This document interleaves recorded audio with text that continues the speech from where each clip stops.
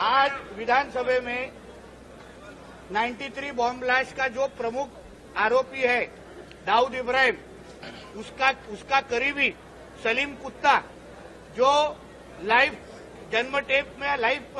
उसको सजा लगी है लाइफ इम्प्रिजमेंट लगी है, और जब भी वो पेरोल पे था पेरोल के खत्म होने के आखिरी दिन पे उसने एक पार्टी की, और वो पार्टी में उसके साथ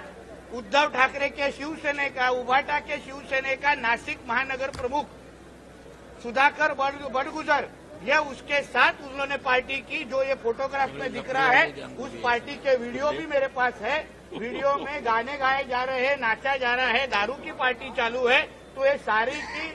सारे का इन्वेस्टिगेशन होना चाहिए, ऐसी मांग मैंने और नासिक के गार्डियन मिनिस्टर हमारे दादा भूसे जी है, हमारे आशीष शेलार जी है और हमारे बहुत सारे सदस्यों ने साथ में मिलकर की कि इस तरीके से टेररिस्ट लोगों के साथ अगर पॉलिटिकल पार्टी के ऑफ़िस प्रमुख लोग अगर पार्टी करने लग गए तो हमारा देश और राज्य सुरक्षित नहीं है।